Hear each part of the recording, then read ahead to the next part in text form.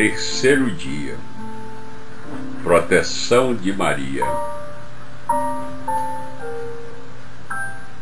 Contemplamos nossa Imaculada Mãe dizendo em suas aparições a Santa Catarina: Eu mesma estarei convosco, não vos perco de vista e vos concederei abundantes graças. Sede para mim, Virgem Imaculada, o escudo e a defesa em todas as necessidades. Amém.